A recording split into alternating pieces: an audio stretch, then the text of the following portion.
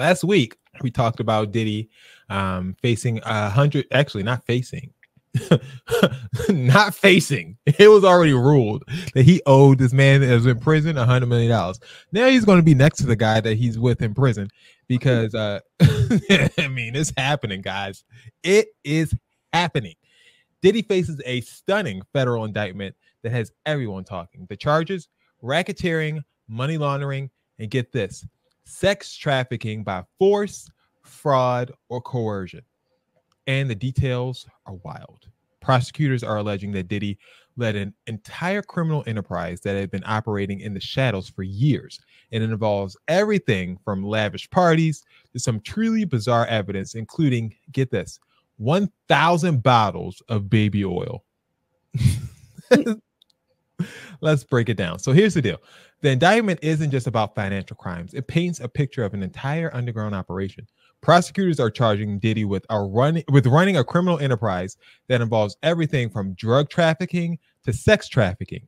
According to U.S. Attorney Damian Williams, the investigation revealed a pattern of abuse and exploitation of women and others over the years. And they just didn't find financial records. They seized three defaced AR-15 rifles. I guess they had the serial numbers removed, mm-hmm. and 1,000. Oh, sorry, over 1,000 bottles of baby oil and personal lubricant. Interested in what that was used for what? That expires, so I've heard. Ah, so you've heard allegedly. Allegedly. and personal lubricant used for what's being described as freak offs. from his homes in Miami and Los Angeles earlier this year. They seized those items. And this just isn't about money. The feds are pulling back the curtain on a lifestyle that's darker than anyone could have ever imagined when it comes to P. Diddy. As part of this investigation, in March of this year, special agents from HSI executed search warrants at Combs' residences in Miami and Los Angeles. They also executed a warrant for Combs' electronic devices, during those searches, agents seized evidence of the crimes charged in this indictment.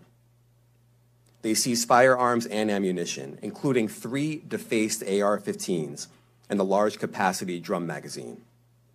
They also seized evidence of the freak-offs, electronic devices that contain images and videos of the freak-offs with multiple victims.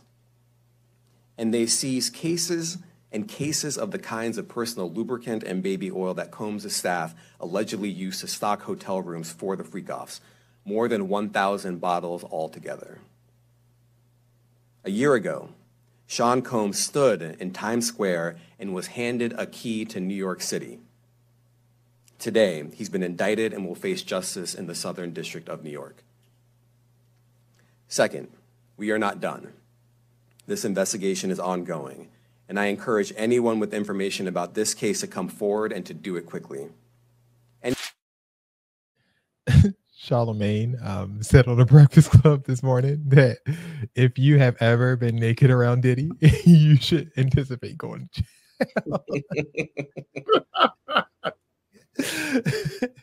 That's how dire the situation um, has gotten for people around Diddy. Now let's talk about the infamous freak offs private over the top parties where prosecutors say drugs, money, and illicit activities were all in play. And these weren't just wild celebrity gatherings.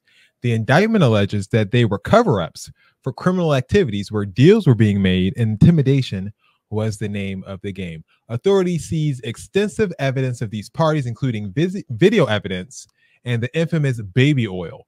It's hard to tell exactly what role the baby oil played. Um, oh, it's not I mean, maybe for just lubricant purposes. No, you don't use no baby oil for lubricant. Infection? No, I'll tell you after the show. Since okay. you two kids are clearly a virgin out here. Clearly, I mean, okay. Clearly, any of the parties, Dex. We're sorry. We weren't. We weren't. y'all don't know what, what what baby oil is used for in the bedroom. Mm, you tell us. Nope. No, you mean nope. If you if you, we got this far without it, I think we'll be okay. No, you missing out. I, I people ain't order a thousand. People are not ordering a thousand bottles of baby oil for something that's not fun. You better believe it. You better get with it. The um, general massage. uh huh. Thanks, Kanisha. Um, he has pled not guilty um, as of today to these charges. The courtroom sketch of Diddy in in the in the courthouse with a black tunic um, as his personal fashion line.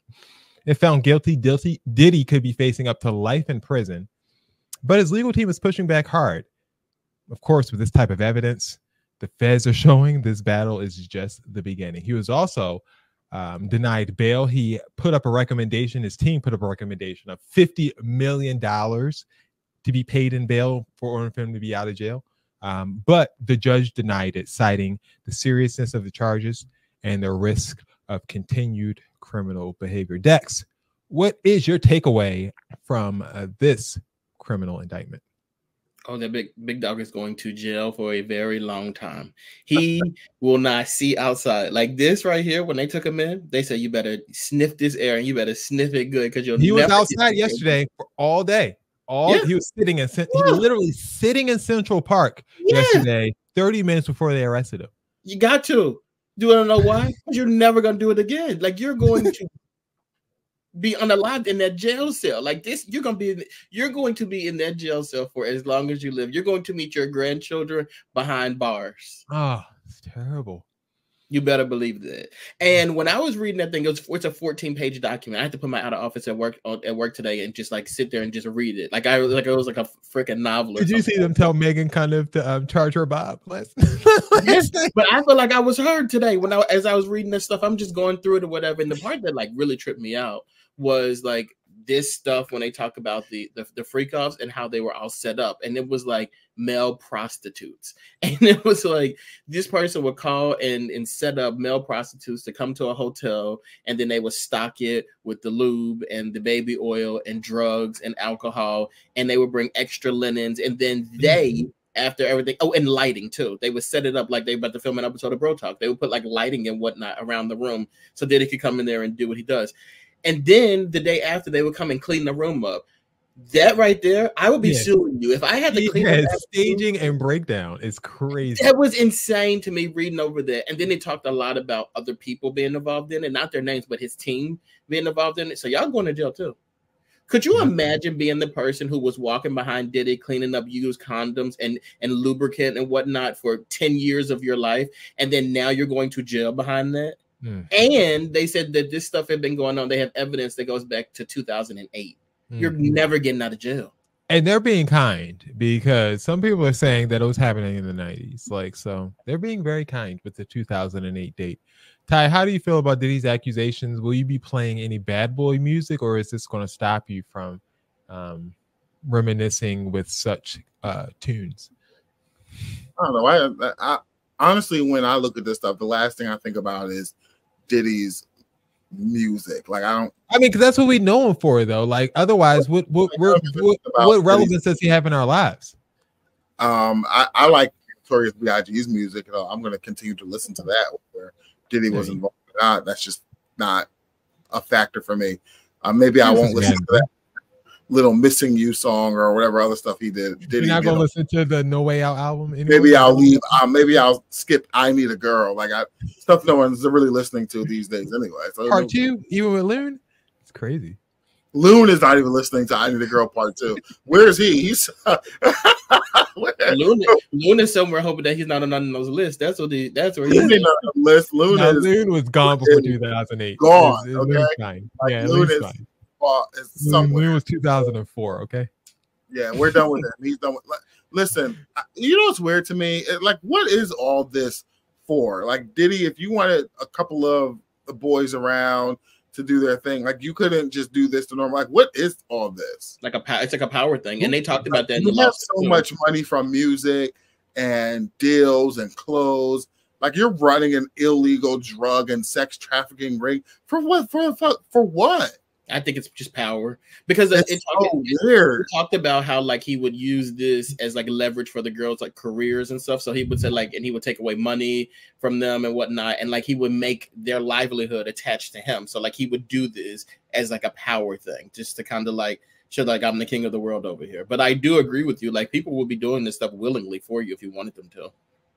Kanisha thought Loon had died. Um, no, Loon um, turned his life over to religion and is now on the religious scene. Um, that's what Loon's doing.